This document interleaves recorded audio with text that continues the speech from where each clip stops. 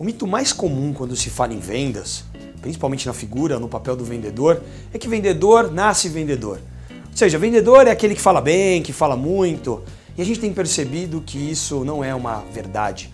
Eu conheço vendedores que falam muito menos que o cliente e conseguem ter resultados, conseguem bater as suas metas e conseguem ser melhores do que os outros que falam muito.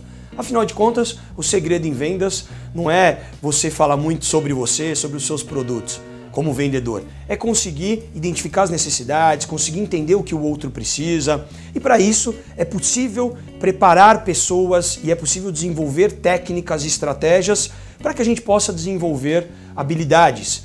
Então eu diria para você, se você é vendedor, provavelmente é porque você já desenvolveu algumas habilidades. Se você ainda não é e precisa vender, é possível aprender.